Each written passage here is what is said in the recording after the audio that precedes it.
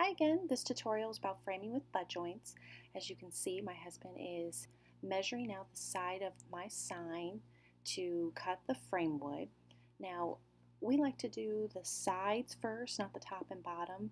We find that it's better for holding when you're adding hangers in the long run. So we like to use our brad nail gun just to nail in those two um, sides first.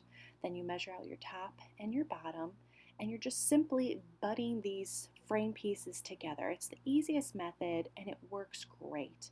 And don't worry too much if those sides don't line up completely. You can always use your miter saw, trim them down, or even your sander works great if it's not too much and it kind of gives it that really distressed look that I love. This method is also great if you're doing multiple boards like in a few of the uh, tutorials that I have on this in this book.